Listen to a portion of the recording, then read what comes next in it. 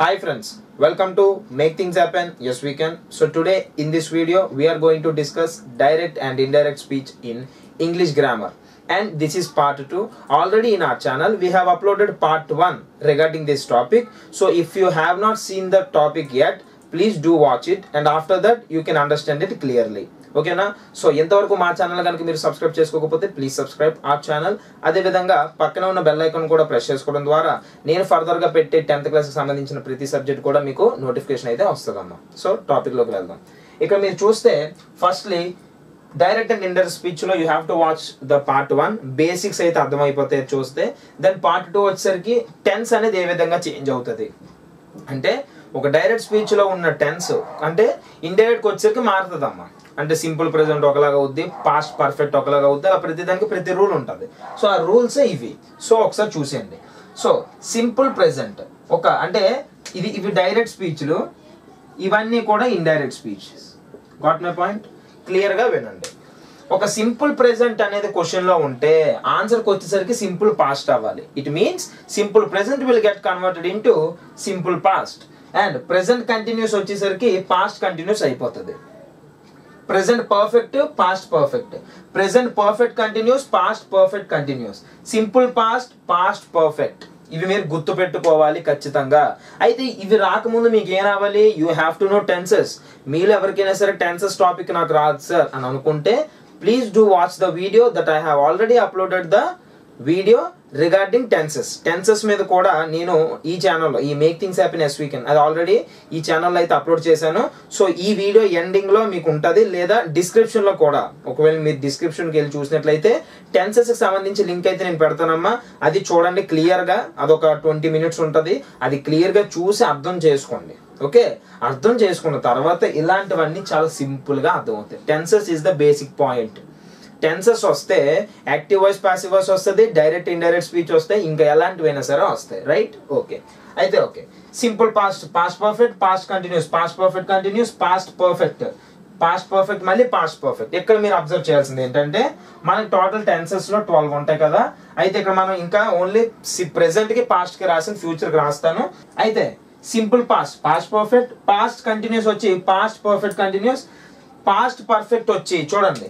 Past perfect అనేది మళ్ళీ మనకి ఏమవుతుంది? Past perfect it means there is no change there is no change అదేవిధంగా పాస్ట్ పర్ఫెక్ట్ కంటిన్యూస్ కూడా మనకి ఇండైరెక్ట్ స్పీచ్లోకి వచ్చేసరికి past perfect continuous again there is no change గుర్తుపెట్టుకోండి అన్ని చేంజ్ అవుతాయి కానీ ఈ రెండు మాత్రం చేంజ్ అవ్వట్లేదు.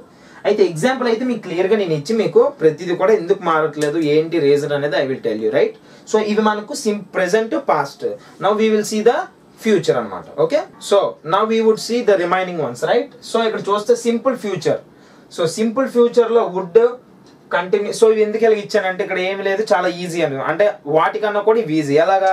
చూడండి. సింపుల్ ఫ్యూచర్లో మనకి విల్ అనేది ఉంటుంది స్ట్రక్చర్లో. అది అందుకే చెప్తున్నాను టెన్సెస్ రావాలి.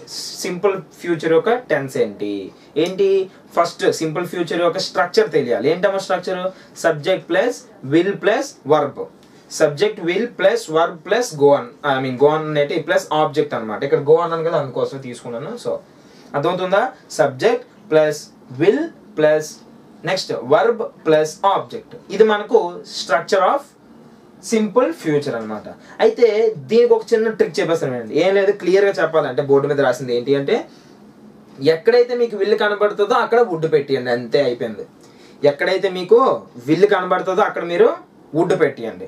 షెల్ కనబడితే షుడ్ పెట్టియండి. అలా దాని మీనింగ్ అనమాట దాని మీనింగ్ అది. ఎగ్జాంపుల్ విల్లే ఉంటుంది రైట్ సో విల్కి వుడ్ సో కంటిన్యూస్కి వచ్చేసరికి విల్ బీ ప్లేయింగ్ ఇలా వస్తాయి. అందుకోసం వుడ్ బీ ప్లేయింగ్ అని వస్తుంది. ఎందులోని అంటే ఇండైరెక్ట్ ఇది డైరెక్ట్ డైరెక్ట్లో ఎలా ఉంటే ఇండైరెక్ట్లో అలా రాయాలని అర్థం అనమాట అలాగే future పర్ఫెక్ట్లోని I will have played he will have done ఇలా వస్తాయి. ఆన్సర్కి వచ్చేసరికి వుడ్ హ్యావ్ రావాలి.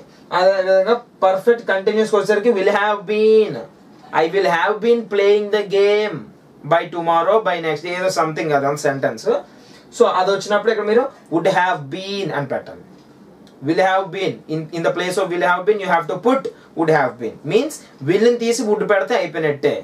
ఓకే అది. ఎగ్జాంపుల్ ఇక్కడ చిన్న విచ్చని చూడండి. She said I have done the work she said I have done the work question మీరు చూస్తే ఇది ఏ టెన్స్లో ఉందో ఫస్ట్ మీరు కనిపెట్టాలి. ఏ టెన్స్లో ఉందమ్మా? ఐ హ్యావ్ డన్ అంటే have plus V three have plus V three subject plus have plus V three plus object ఏమవుతుంది? ప- ఏమవుతుంది? Perfect A perfect present perfect very present perfect subject plus have plus V three ఏమవుద్దమ్మా present perfect very good so ఈ present perfect మనకి డైరెక్ట్లో ఇచ్చాడు question direct స్పీచ్లో ఇస్తే indirect స్పీచ్లో ఏం రావాలి? ఇందాలే చెప్పాను రూల్స్ ఒకసారి మీరు ముందుకెళ్ళి చూడండి. ఏం రావాలి? ఏం రావాలి అంటే ప్రెసెంట్ పర్ఫెక్ట్లో ఉండేది మనకు ఆన్సర్లు ఏం రావాలమ్మా? పాస్ట్ పర్ఫెక్ట్లో రావాలి. పాస్ట్ పర్ఫెక్ట్లో రావాలి. Present perfect will change into past perfect అందుకే చూడండి she said that I in she చేసాం. ఎందుకంటే దీన్ని బట్టి. So she had done the work she had done the work have done అనేది ప్రెసెంట్ హ్యాడ్ డన్ అనేది పాస్ట్ అయిపోయింది. ఓకే అలాగే she said I will have completed sorry I will have cooked ఏదో ఒకటి ఏ ఎగ్జాంపుల్ తీసుకున్నా పర్లే. I will have cooked the food so I will have cook the food దగ్గర ఏమొచ్చింది చూడండి. She said that she would అంటే విల్ దగ్గర ఏం పెట్టాను? వుడ్ పెట్టాను. మిగతాదంతా సేమే ఇది ఎన్నో ఇది ఎన్నో sentence she said I will have cook the food అనేది ఏమవుతుంది?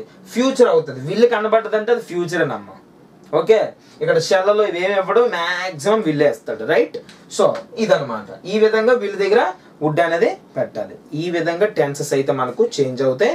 ఇప్పుడు చేంజ్ ఇన్ ప్రనౌన్ ఒకసారి చూద్దాం. అమ్మ సో చేంజ్ ఇన్ ప్రనౌన్ ఇందులో చూసుకుంటే మనకి ఫస్ట్లీ మీరు ఇది తెలుసుకోవాలి.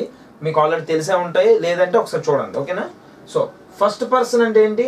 సెకండ్ పర్సన్ అంటే ఏంటి? థర్డ్ పర్సన్ అంటే ఏంటి? ఫస్ట్ పర్సన్ అంటే ఇంగ్లీష్లో మనకు వచ్చేసరికి ఈ ఫస్ట్ పర్సన్ సింగులర్ ప్లూరల్ ఉంటుంది. థర్డ్ పర్సన్లో కూడా సింగులర్ ప్లూరల్ ఉంటాయి so singular first person singular అంటే ఐ ఫస్ట్ పర్సన్ ప్లూరల్ అంటే వి ఓకేనా? అయితే ఐవి అనేవి ఏమవుతాయమ్మా? ఫస్ట్ పర్సన్స్ అవుతాయి. సెకండ్ పర్సన్ అంటే యూ థర్డ్ పర్సన్ అంటే హీ షీ ఇట్ అనేవి సింగులర్ అంటే థర్డ్ పర్సన్ సింగులర్ ఇవి థర్డ్ పర్సన్ ప్లూరల్ ఇవమ్మా. ఓకేనా? ఈ మీద తెలుసుకోవాలి. ఇప్పుడు మనం దీనికి ఈ ప్రణాళిక వచ్చేసరికి ఫోర్ ఇంపార్టెంట్ రూల్స్ ఉన్నాయమ్మా. సో అవి ఏంటి ఇప్పుడు మనం చూద్దాం. అయితే ఇక్కడ చేంజ్ ఇన్ ప్రనౌన్లో ఫోర్ అన్నాను కదా. సో ఫస్ట్ ఇది వచ్చి the first person pronoun of reported speech is changed దీని అర్థం changed okay? Is change according to the pronoun of reporting verb reporting verb అంటే మీకు చెప్పాను ఇట్ సైడ్ది కామ ముందుది రిపోర్టింగ్ వర్బ్ కామ తర్వాత రిపోర్టెడ్ రిపోర్టెడ్ వర్బ్ అంటే reported speech reporting speech okay? అయితే ఇది ఇక్కడ వరకు ఓకే. ఇందులో ఏంటి అంటే ఇక్కడ మీకు చూడండి. The first person of first person pronoun of reported speech ఇదే కదా రిపోర్టెడ్ స్పీచ్ అంటే? ఈ రిపోర్టెడ్ స్పీచ్లో ఫస్ట్ పర్సన్ ప్రనౌన్ అంటే ఐ ఐ ఉన్నా వి ఉన్నా ఇవేవైనా ఉంటే అది మనకి ఏమవుతుంది I will go to America అనేది రిపోర్టెడ్ స్పీచ్ ఈ రిపోర్టెడ్ స్పీచ్లో ఐ అనేది ఏమవుతుంది? రిపోర్టెడ్ ఏమవుతుంది? ప్రనౌన్ అవుతుంది. ఓకే దీని యొక్క ప్రనౌన్ అనమాట చూడండి. First person pronoun of reported speech ఇది రిపోర్టెడ్ ప్రనౌన్ కాదు రిపోర్టెడ్ స్పీచ్లో ఉన్న ప్రనౌన్ ఓకే సో ఇది చేంజ్ అవుతుందంట. ఎప్పుడు చేంజ్ అవుతుంది? According to the pronoun of reporting verb ఇది కదా రిపోర్టింగ్ వర్బ్ ఈ రిపోర్టింగ్ వర్బ్లో ఉన్న ప్రనౌన్ బట్టి. ఏంటి? షీ అంటే ఇక్కడ షీ ఉంటే ఆన్సర్లో షీ రావాలి. హీ ఉంటే హీ రావాలి. ఇట్ ఉంటే ఇట్ అలాగనమాట అంటే ఇందులో ఉన్నది ఇక్కడ చూడండి ఐ ఏమైపోయింది ఇక్కడ? షీ అయిపోయింది. She said I will go to అమెరికాకి she said that she would అన్నాం అంటే ఐ ప్లేస్లో షీ వచ్చింది. ఐ ప్లేస్లో షీ ఎందుకు వచ్చింది?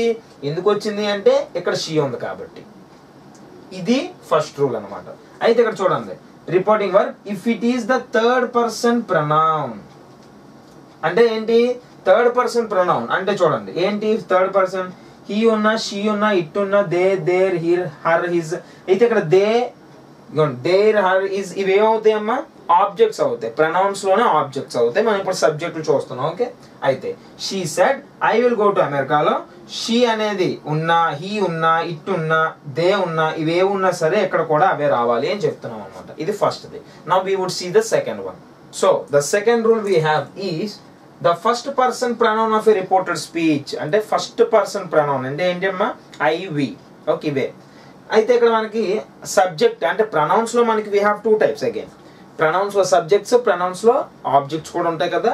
సో అవి ఇవి కలిపి ఇక్కడ మనకి I I we me mine us our ఇవన్నీ కూడా ప్రనౌన్స్ అవుతాయి. ఓకేనా ఏ ప్రనౌన్స్ ఫస్ట్ పర్సన్ ప్రనౌన్స్ అవుతాయి.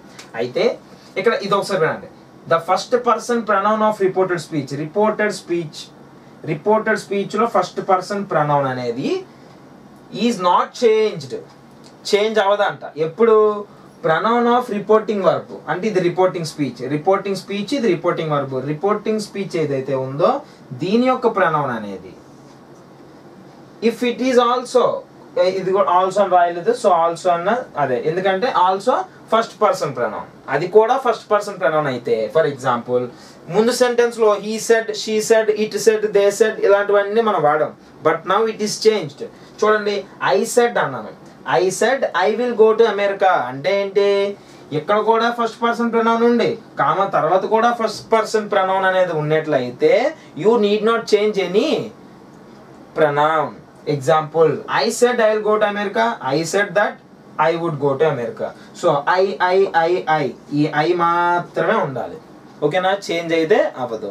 ఇది మనకు వచ్చి సెకండ్ ఇంపార్టెంట్ రూల్ అదేవిధంగా వి ఉన్న we said we will go to America అన్నాం అనుకోండి. We said that we would go to అంటే ఇక్కడ వి వచ్చినా ఐ వచ్చినా ఈ రెండు అక్కడ వస్తాయి.